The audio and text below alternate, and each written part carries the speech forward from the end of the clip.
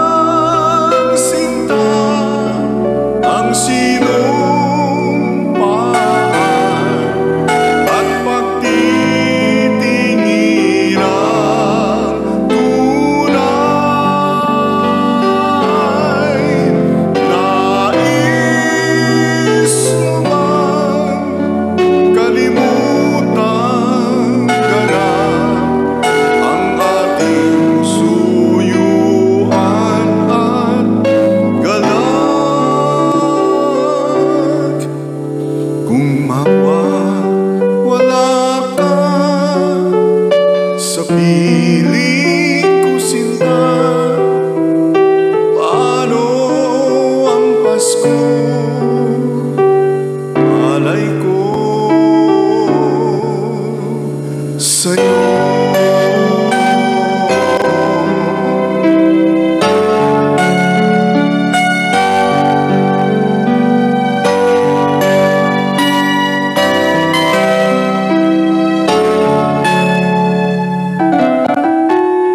Kung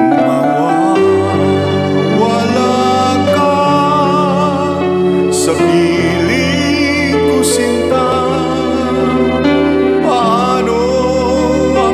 school.